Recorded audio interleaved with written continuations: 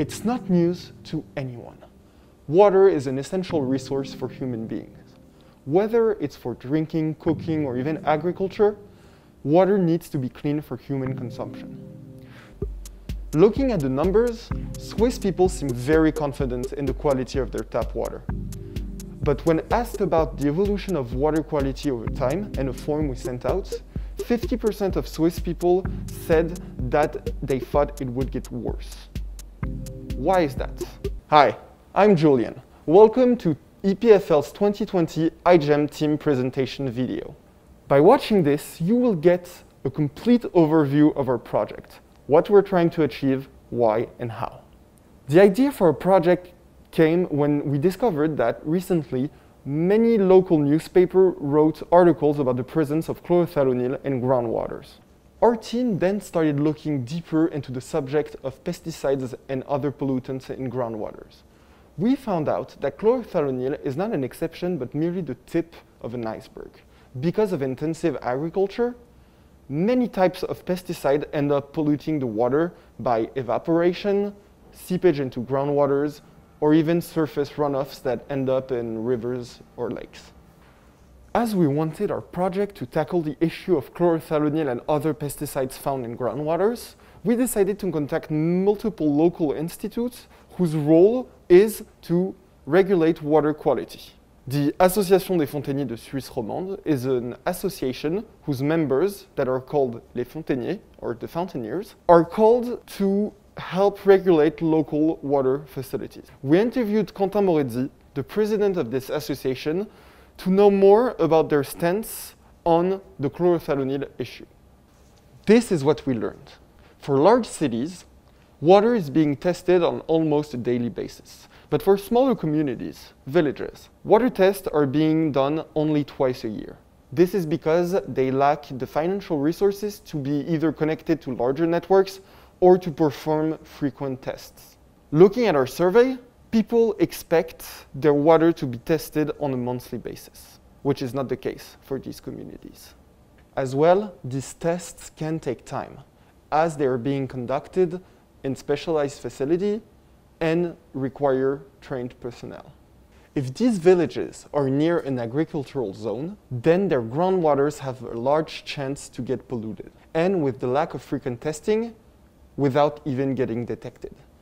But identifying the source of the pollution is necessary to avoid permanent contamination of the source of water, which can take years to rejuvenate. To summarize, the Fontainiers need a solution that is local, easy to use, affordable, to help them perform more frequent testing. We found a solution adapted to everyone. The espresso. What is it? Let's find out.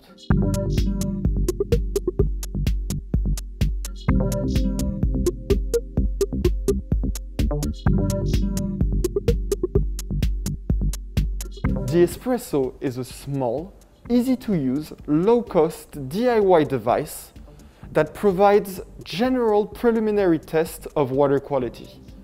But beyond the device, the Espresso is also a system that has as its center genetically modified organisms that has been engineered to detect the presence of pollutants in water. This system has especially been conceived for non-trained users, so that the Fontainier Association can benefit from the power of synthetic biology without facing the difficulties of result interpretation, safety, or waste management, but has also been designed to be accessible for any community in the world. Let's learn more about the bio behind the espresso with Sven, our representative of the bio department. The biological aspect of our project was inspired by the cannery in the coal mine analogy. Miners would use to carry a cannery in a cage with them. The bird, being more sensitive to toxic gases such as carbon monoxide, would become sick or die before the miners. This was used as a warning mechanism and would allow the miners to escape before any serious harm was done to them. We tried to translate this concept and apply it to the problem of drinking water pollution. The hypothesis was that if a chemical compound in water is harmful to humans, maybe it is also harmful to other living organisms. We decided to work with Saccharomyces cerevisiae as this type of yeast is robust and its growth behavior can easily be monitored. To do so, we measured growth curves on a plate reader. This instrument measures the optical density, which is correlated to the number of cells in a sample. We took measurements every 10 minutes for more than 18 hours, and by plotting the optical density versus time, we were able to compare growth curves of yeast strains in different conditions. To find out whether or not yeast could be used as a sentinel strain to detect the presence of pesticides in water, we repeated the same experiment, but this time we added pesticides. There exist many classes of pesticides, and we had to decide which ones of them we were going to use for our experiments. We read in a report on long-term water quality monitoring in Switzerland that the phytosanitary products most frequently found in Switzerland were atrazine, pentasone and metolachlor. We found that high concentrations of certain pesticides lead to a much longer lag phase, which simply means the yeast would start to grow later. The problem we were facing now was sensitivity. In fact, the concentrations we used for our experiments were much higher than what could be expected in reality. To solve this problem, we started thinking about how we could engineer yeast to increase its sensitivity. Thanks to decades of research, we happen to know that this organism has a pathway for general stress response. This pathway gets activated under conditions such as carbon source starvation, heat shock, but also osmotic or oxidative stresses. The pathway is controlled by master regulators such as MSN2 and YAP1 that are usually found outside of the nucleus. When the stress signal is sensed, they enter the nucleus under stress conditions where they start to activate their target genes. Our first idea to render the organism more sensitive towards environmental stresses was to test what would happen if these transcriptional master regulators of stress response were knocked out. We observed that if we added pesticides to these strains, the lag time would increase more than it had increased when we used wild-type yeast. This result was interesting because if the effect was bigger, it means that probably it will also be easier to measure it on our own device. The second idea was a bit more ambitious. We wanted to hijack this stress response pathway in order for the cell to produce a fluorescent protein whenever the pathway gets activated.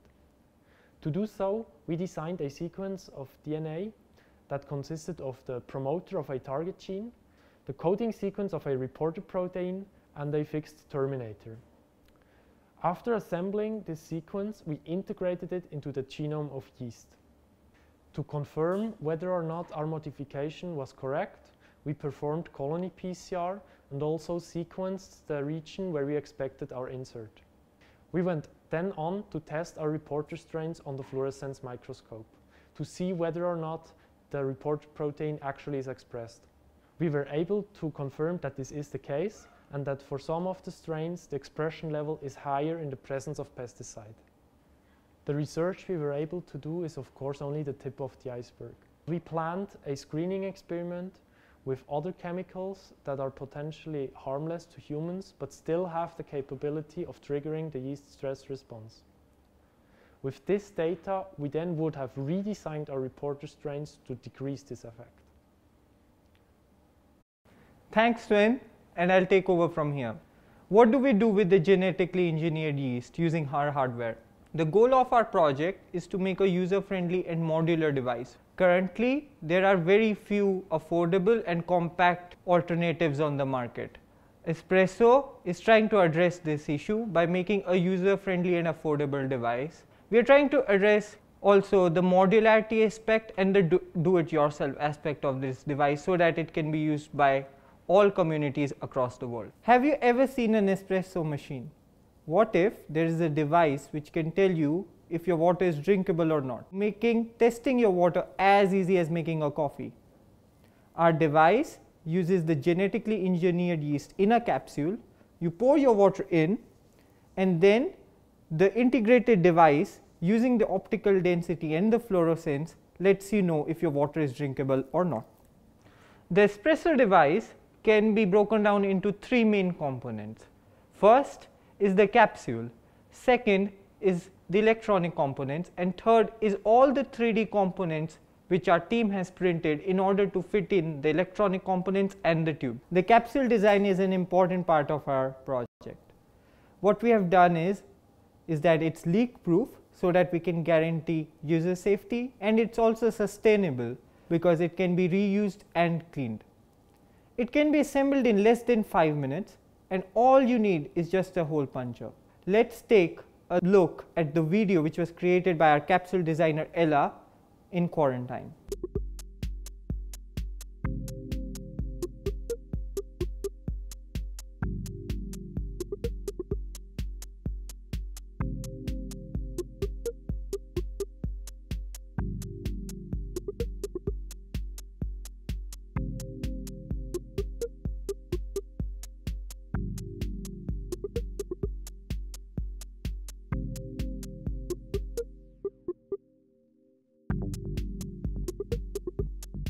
We decided to make the external structure of our object using 3D printing and for the purposes of this we used a Prusa i3 3D printer. We primarily had to print three 3D components in order to get the external structure. The first is the violin sensor holder which holds the optical density and the fluorescence sensor.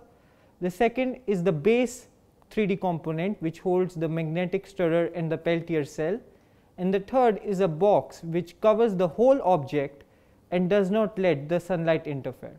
For keeping the yeast cells in suspension, we need to use a magnetic stirrer. The magnetic stirrer is basically a DC motor on top of which there are two magnets spinning at a variable speed using a variable resistance. This helps us create a vortex which helps to keep the cells in suspension. For the yeast to have an optimal growth, we need to set the environment to a suitable temperature and then keep it constant. We need to keep the temperature in the neighboring range of around 30 degrees. This was achieved using a thermoelectric Peltier element and a TMP36 sensor. The presence of pollutants or pesticides in water can change the growth of the genetically engineered yeast and this is something we have to measure. The principle is the less the growth of the yeast is, the more light should pass through the vial. This phenomena can be measured through a light to frequency converter and a white LED. The genetically engineered yeast has been engineered in such a way that it expresses a red fluorescent protein in presence of a pesticide. This red fluorescent protein gets only excited in the presence of a yellow light which is between 530 nanometers to 560 nanometers. Using the RGB sensor and the yellow light we can measure this phenomena. The RGB sensor and the light are at 90 degrees of each other because the particles when hit by yellow light emit the red emission at a different angle and we have a higher chance of sensing it when it is kept at 90 degrees. Till now we have talked about the theoretical aspects of our object. Now let's talk a bit about the results. We took different OD samples with different levels of OD and then we used an industrial spectrophotometer to set a baseline or a reference for all of these ODs. And we found out that there was a linear relationship in our frequency measurements and the OD measurements which were very convincing results. A growth curve experiment was done to confirm that our yeast can grow inside our capsule and hardware for which we used supermarket yeast in SC medium. The experiment was conducted overnight and we ran it for 17 hours. Readings were collected in terms of the light transmission which were converted into optical density readings by taking a baseline reading at OD0 and we found out that it was similar to the expected growth curve for the wild type yeast.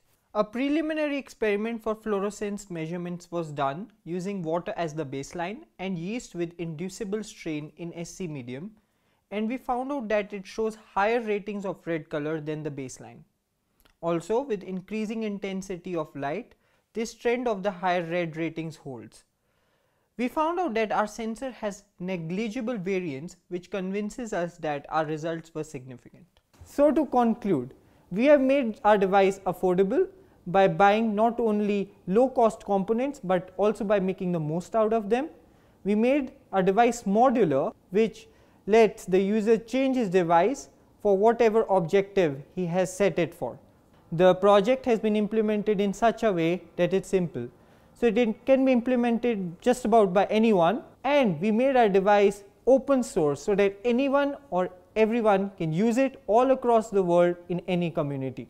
So I'm glad to present our project to the iGEM community and we look forward to having your open source contributions so that we can have an impact on the water quality assessment. When the project started coming together and we got our first results, we invited Quentin president of the Fontainier Association, to our lab where we gave him a live demonstration of our device. He then proceeded to give us some useful feedback about the device. His feedback was overall very positive. We view this as a great success, as we design our device with the intention of it being mainly used by the Fontainier. More precisely, the prototype meets the needs of the Fontainier associations in terms of price, size, and simplicity of usage, and could be used for pre preliminary water quality analysis. The Fontainier operators who use the device are equipped with the necessary equipment, syringe, gloves, bleach, that would allow the espresso system to be used safely. Mr. Morezzi also signaled to us that the fact that a test can take multiple hours to run means that even if the device is small and portable, a Fontainier cannot take it with him or her and do measurements outside of a lab or an office. As well, Mr. Morezzi said that it would be required to have an automated processing of the data necessary in order for the Fontainier to use the device. Saving the data on an SD card and bypassing the use of a computer while running the experiment would be a plus. We presented our project to André Horvat, CEO of Swaxid. This was an important encounter since Swaxid is developing a low-tech water filter that is intended to be deployable in communities with limited resources. This means that his feedback on the design of our system came from his large experience in the domain. Andre really liked the problematic rapid local generic testing of water quality is a global issue with very little solutions. The espresso is thus an interesting system that could have many usages. Andre provided us with useful feedback and insights regarding our product, with a focus on the challenges that we might face when it comes to putting it on the market. As we are aiming to distribute the device that contains GMOs across Switzerland and potentially internationally, we must be wary of the safety regulations regarding such organisms. This was another positive and constructive encounter with a professional from the field. We will stay in contact to set up an experiment using our system to test the efficiency of his filter. However, his filter kills bacteria, viruses, and not micropollutants. Our system is thus not adapted to measure the presence of living organisms in water because they would falsify the yeast OD600 measurements. Nevertheless, Andre experiments with coliform bacteria uses OD measurements to measure their presence in water, and he would thus be interested in testing our device. Thank you for staying until the end of this video. We hope you liked our project. We could not finish without mentioning all of the attributions because iGEM is not only the making of a product or a system, but it is a team effort.